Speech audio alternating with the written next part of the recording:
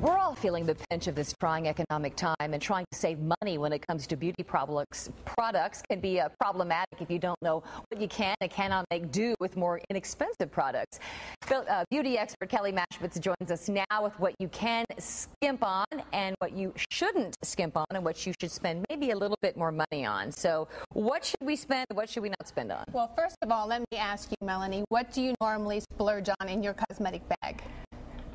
Mascara and lipstick.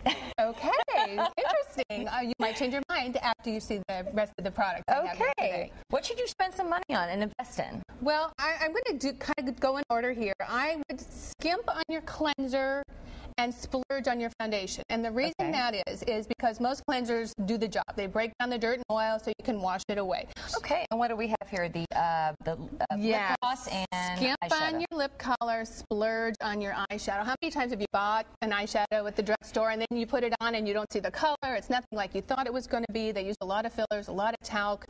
Um, you want to make sure that it's highly pigmented, good quality, so you don't have any irritation with the eye. Uh, this is Luxiva um, uh, lasting eyeshadow. They're $14 each. e.l.f. lip glosses, $3 for a three pack. So you cheap, can cheap, throw cheap. it in your desk, throw it in the car, and I lose mine all over the place. So it's great. You, yeah, you can just, you know, scrimp on that and, and you'll have plenty of uh, money to go around for other things.